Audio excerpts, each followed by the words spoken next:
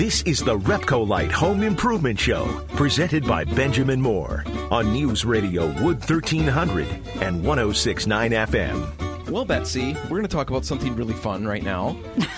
Bats. we were just watching. This is interesting because we were just watching an Andy Griffith episode. Yes. And I showed you this. Uh-huh. And Don Knotts is going into a cave. Yeah. And he told Thelma Lou to watch out for the bats because they're going to get in your hair and Uh-huh. lay eggs and make you crazy. so Yeah. I decided that we needed to check with our guests because we're in the studio with David Popp from Rose Pest Solutions, the district manager, Right. and Dale Hodgson, the regional technical manager, again from Rose Pest Solutions. So we're going to dig into this bat thing and get some answers. Yeah, thanks for being here, gentlemen. You're welcome. Pleasure. Um, so, first of all, are the bats going to make a nest in my hair and lay eggs? Let's just clear this up And right make her crazy. That was the and other make me crazy. To ease everybody's minds, no, the bats do not uh, lay in wait, w- waiting for somebody with the tallest hair to get into. They just Oh, simply thank do not goodness. do that. Well, if All right. it was the tallest hair, that'd be Dan. So, sorry, you're out of luck. That's true. So, I guess from what I've heard, you guys start getting calls this time of year about bats. People are starting to see them coming out, or they're starting to see them perhaps around their home, in their home. Why is that? Well, the bats are hibernating most of the winter. They they actually started hibernating about uh, toward the end of October. Oh. Um, and they started, and they've been sleeping Mm-hmm. this whole time. Now it's time for them to wake up uh, because the insect populations are up again, or they're starting to climb. Once the food is out, the bats will be out as well, and they'll begin their feeding and rearing their young. So, what all are they looking for to eat? I mean, I've seen stink bugs all winter long. Oh, so you're hoping that they're going to be scoping out the stink bug I can always hope, Yeah. but I have a lot less. I will just give you a quick plug here, David, because I had you guys come out and I have exponentially less than I have in Oh, good. previous years. But Good, good, there good. are a a few little thing. stragglers. so, are they going to eat my stink bugs? They won't consume them entirely. They may try one or two of them, but they're called stink bugs for a reason. um, not only do they stink, they do not taste very well. yeah, they're. Really I know that because one died in my water glass and I didn't know it in the middle of the night and I took a swig. Oh, oh that is disgusting. I feel bad for anything that tries them. So, what are they eating if they're well, not bats eating bats are insectivores. They all our species of bats that we have around here um, eat insects. They don't eat hair. They don't suck your blood. They don't do anything like that. And I, their favorite food is really is the night flying moth. The Oh. large, juicy night flying moths that we see. That's what they're after the most. They will feed on smaller insects. Used to we used to say that bats would eat 600 mosquitoes an hour, mm-hmm. but now we're saying that bats will eat about a thousand mosquito-sized insects in an hour. Oh, wait a minute. So they're not oh. eating the mosquitoes. They're not as eating the mosquitoes to get rid of them or Is anything this something like that. they've intentionally changed their patterns? No, they haven't changed. We've changed our knowledge. We just didn't. We, we know better now. What what a disappointment that is. Yeah. Because I don't mind the juicy night flying moth, but I really detest the mosquito. Yeah. And it's a little sad to hear that the yeah, bats they're not are not taking stink care of bugs those. or as many mosquitoes. yeah. Now, Well- Dale, what we should do before we go too much further, because there, I've got a bunch of questions about this whole exclusion thing and what we can do and when we need to do it. But when we contacted David about this particular interview, he suggested you because Dale has David a whole bunch of letters behind his name, right? Yes, he has. He's full of letters. He is. he is one of five of our board certified entomologists at, at Rose. Uh, but he carries a distinction that is quite the honor because he's one of 25 individuals in the United States that carries the CWCP, which is a certified wildlife control professional. It sounds simple, but it's quite extensive of what he had to do to be able to uh, get this. And only 25 people in the United States. That's that's quite amazing. That's he's certified through the National Wildlife Control Operators Association. Which is another string of letters. The Yes, that was- NWCOA. Did I do that right? you did. That's right. Yeah. Wow. Dale has become our company's go-to wildlife person uh, and, and professional. He is his his knowledge is very extensive, and and we're we're very proud to have him. So. Because you guys do more than just bug control. Like you know, sometimes that's the idea that comes across. But you mentioned wildlife, Dale. What exactly do you get involved with? Are you wrestling gators and Well, stuff? I'm not wrestling gators or anything like Would you that. like but, to? Uh, I'm interested in all kinds of things. So, I so, hear that as a yes. But I have getting I have gotten calls about snakes. We do Mm-hmm. raccoons, squirrels, possums, the usual Mm-hmm. stuff. Bats as well. Um, I think the most exotic thing I've ever done was pull a king snake out of a dormitory room that had escaped Well, from three floors above it. relatively mm. exotic Yeah. or Yeah. terrifying. Yeah. Yeah. you want It to was a six foot king snake, and you really didn't want that in your dorm room if you didn't want it to be there. Yeah. So how lucky for you to be one of the the few people that, that get to be involved in that stuff because you're an expert. yeah. Well, Did you go to special school for wrestling snakes? no, I did not go to that. Came that came the real education started the day I graduated. and then the real education started the day you grabbed a hold of one end of that snake. That's correct, and you That's have to grab the right real. end. Oh. How I got into this, I had been putting insects in jars and catching critters ever since I was a little kid, Very cool. and I just managed to turn that into a lifelong career. That's not a bad thing. We appreciate it, let me tell you. All right, now wait. Let's go back to bats Yeah, because let's- that's where we were. Do they carry rabies? Because Yes, is that why we should be concerned if they are in our space?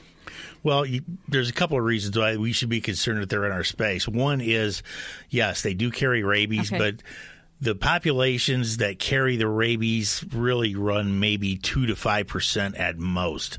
Where people run, have trouble is they'll see a bat lying on the ground Mm-hmm. uh, and they'll try to handle it. They don't know how to handle it. They'll pick it up. Why Um, would they do that? Well, people people are kind generally. They want Oh, to so make. they're trying to be they're nice trying to be nice to the animal, and they'll pick it up, get bitten, and then that potentially could be a rabies threat. Mm-hmm. So we should have the bat tested, and the person um, has to take appropriate measures after that. What about our pets and things like that? Like my dog likes to pick up things, and what if she comes in with a If, bat? if, a, if an animal if if an animal carries a bat home like a dog or your cat Mm-hmm. would bring back a little trophy to show you, and it's a bat, Mm-hmm. that bat really needs to be tested for um, for the animal's sake. Okay. Um, and those bats can be sent to um, Michigan State Virology. That can be Googled too, Mm-hmm. and they would give you exact protocol on how to prepare that. The bat can be, will have to be sent in whole, and it'll be tested. Okay. and You'll get results back very quickly. now, if we get bit by a bat, is it the same Same, protocol? exact same thing. Do we have to kill it, The or well, yeah, yeah. The bat should the bat needs to be killed, okay? Which is going to be hard for a homeowner to do. But in however that's decided upon, Right. is that the head cannot be injured in any way. Because that's what's tested. That's what's the- tested. The brain brain tissue is tested, and that head has to be intact. So that's if we're bitten. That's if our animal handles it. Are those Correct. the only main concerns? Well, if there are pe- usually skin has to be usually broken? the skin doesn't necessarily have to be broken. If somebody if somebody were in a room sleeping, or a little a, a little one, a child were in a room sleeping, Okay. and there's a bat flying around in there, or a bat hanging on the wall, and you hadn't been in there the whole time to see this bat, that bat should be tested. Um, there's a potential that the bat could have crawled across that person, could have crawled across their skin oh. or their mouth mm-hmm. or something to that nature, and that's how rabies is transmitted. Oh, So that bat would have to be captured, Captured, euthanized, euthanized, sent in for testing. sent in for testing, and we can get all that information online. Yes. Should we ever have that situation occur? That's correct. Somebody's First gonna call, to first help call to make would be your local health department, and they would be more than happy Okay. to instruct you. So if we have them in the house, if we find them in the house, our best bet is to just leave them alone and get a hold of you guys. We would prefer that you would call us to handle your bats, Mm-hmm. whether it's uh, a bat that's in a room, gets in your house, or you may have a colony of them in your attic or in the walls and things. You may hear scratching over the winter. Um, you know, we can exclude those, but we have to do that at the right time. We had one in our house a couple years ago, three years ago. Oh my goodness. No, it's longer than that. Doesn't matter. Doesn't well, matter. it does because I was less mature. So that is very oh. important. But the kids made a video of me dealing with the bat. You know, and as I'm walking up the steps, because they've told me where he is, they've seen him in the upstairs, and I've got a Rubbermaid or a Tupperware thing and a little cardboard slide underneath it that I'm going to put it over him and get him out. Okay, so I'm going up the steps, and and the, there's this video, And I'm all cool and collected. Guys, don't big deal. Dad, you're so brave. I said, Yeah, this is what dads do, okay? We do this stuff. Did it fly at your real. face? No, he stayed right there. But you can watch the color drain from my face as I approach him. And then I'm trembling as I'm trying to control the little cardboard slider. And then he moves, and the whole thing fell apart. And I realized very quickly I got him outside, and I was unharmed, and the children. After you know a number of therapy sessions are fine. Right. We learned let the experts deal with them is now the time because you said we're we're starting to see them now, but now isn't the time to really start dealing with it correctly? Correct. Now is not the time to do exclusion work. Although, let's for an example, let's say we have you have bats in your attic. If the bats are getting into the living space and we see where they're coming in from, yes, we can stop them from doing that. Mm-hmm. We cannot exclude them from going in and out though just now. Because what happens is in the bat life cycle, bats mate in the fall. But the females don't quote unquote get pregnant until the spring. Oh. So they're just now going to start having their young maybe in another four weeks. Okay. And what happens at that point is when the bats, in their normal course of flight time, bats will leave their roost, fly, feed, come back. They don't carry the young with them. If we were to exclude the bats now, the bats would leave and not be able to get back into the roost, and the young would die. And we, we don't want that. Uh, bats are very beneficial and misunderstood creatures. Okay, well that sounds like a challenge. Uh, so yes. with that said, we're gonna go to a break. Can you guys hang with us? Sure. And I want to find out exactly why they're so beneficial. Don't you want to know? yes, and why they're so sadly misunderstood. I have my guesses. Well, we're gonna find out all of that in just a few minutes. So stay with us.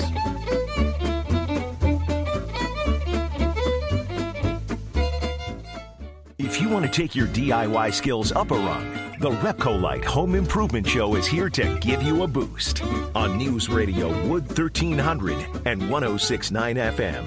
And we're back. I'm Dan Hanson, And I'm Betsy Thompson. And we are in the studio with Dale Hodgson and David Popp from Rose Pest Solutions.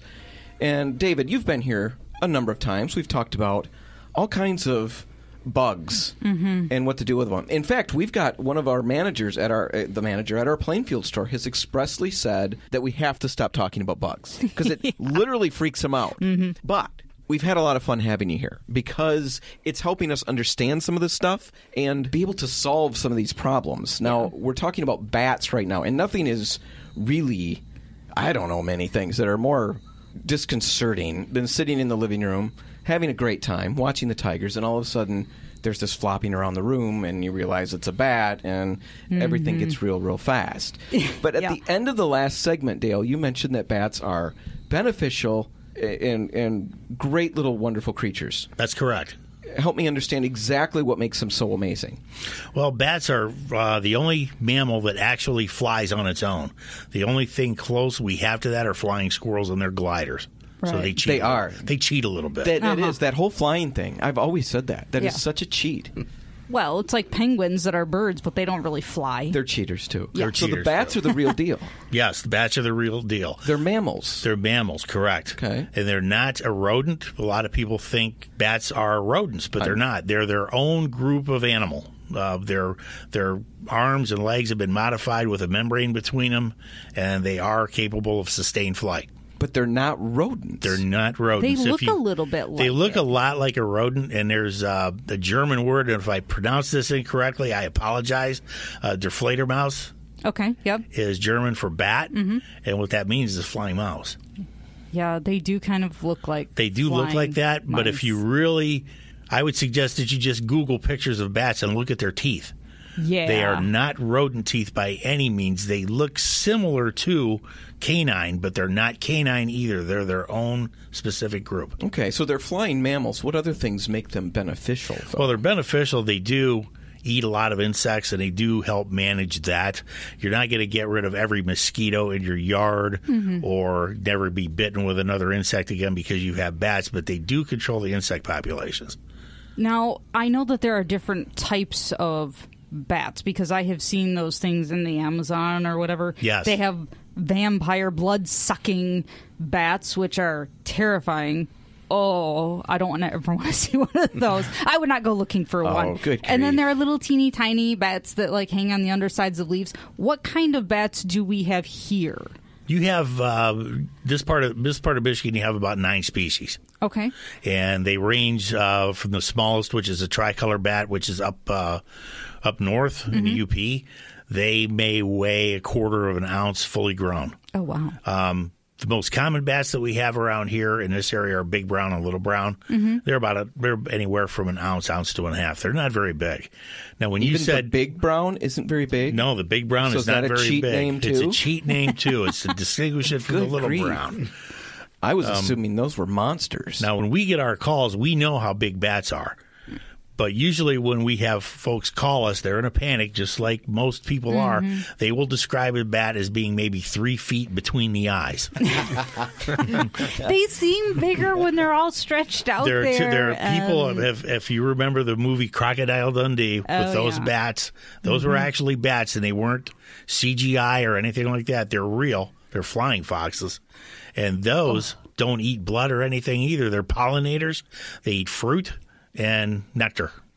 oh, but they're absolutely terrifying. Contrary to popular belief, bats are not blind. They see very well, but that when they hunt, um, they do click, which is an audible sound, and they also use echolocation, which is not audible to us. But there are devices out there where you can bring that frequency down to an audible level. It is amazing to hear, Really. and that's that's basically how bats hunt. Well, they it will use is. their echolocation. so interesting when you really because you were mentioning Dale a video that you played. Where uh, tell me about this video because you had video, slow motion video of bats actually catching their food. Yes, and that's readily available out on the internet. You can find that. Just Google bats feeding and you will see them. They're very good videos. What they do is most people think that when bats hunt, or when you see them out flying around, they mm-hmm. just grab the insects with their teeth. Right. They really don't.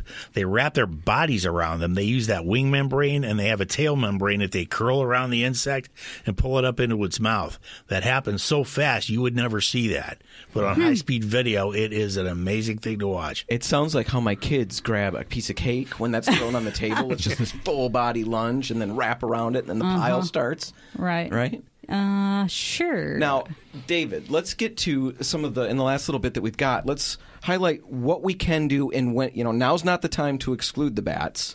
If we have them in our home and we know where they're coming from, we can at least block that off. That's okay. Correct. But when is the right time to get this problem resolved, and how do we do it? Well, like Dale had said, the exclusion uh, part of of um, taking care of the the bats is we generally will do it between July and the end of October. And what we would do is is first off, it, we would um, apply a, um, uh, an apparatus, something similar. We, we call them bat cones, where it allows the the uh, uh, bats to go out of the, the area where they're in, if it was in an attic or a soffit, but they cannot return back in there. So we would be excluding them from that area. Then after a period of time, we go back and we we seal that area up. Once we we, we want to make sure that all the bats are out of the area first before we do that. Um, so it's something similar is that if there's large areas that we can uh, uh, exclude, we might be putting up hardware cloth to make sure that, that nothing uh, can actually get back in into those areas.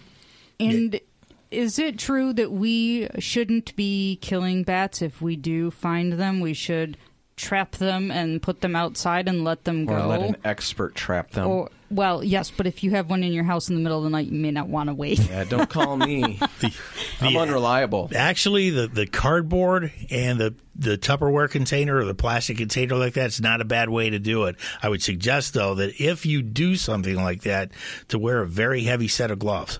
Like leather gloves. Leather gloves, Yeah. I yes. was wearing leather Yes. underpants. Are they like birds where if you touch them, like they say baby birds, if you touch them, then the mother doesn't want to have anything to do with them? Are bats like that Why too? would you want to touch them?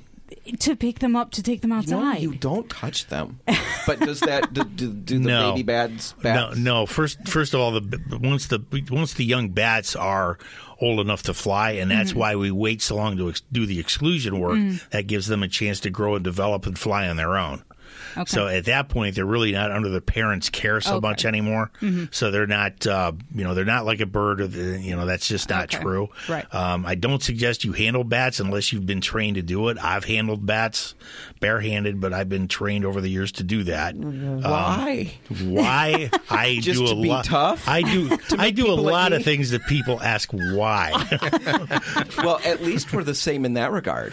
He's like Yeah. super brave, but I still get a lot of questions about why are you doing that? Yet not the same kind of No, lie that different he gets. You have barehanded. Oh, sure. But to handle a bat, uh, they're very fragile, actually. Uh, their wing membranes are ve- are thin, and I usually tell people not to handle them unless they know how, because if you damage that wing Right. membrane, that is Okay. not good for the bat at all. And we really do not want to harm our bats. Right. Well, I know we had one bat in the house another time, and this the was thing the- with bats. Well, I, we had a fair amount that would just get into the old house. But this one, that was the very first one, and he's flying around the living room, and my wife's freaking out. Everybody's freaking out. I got over it. Believe it or not, I really did. And I got a broom, and I was just trying to not hit him. I was trying to get him to go out the front door. Mm-hmm. And I was kind of moving him around the room, and then he would eventually, he was getting very tired. And so at one point, he clings to the crown molding, and he's just sitting there, and his little chest is heaving. And my wife says, Get him. He stopped. I said, He's resting, and we're going to give him a break.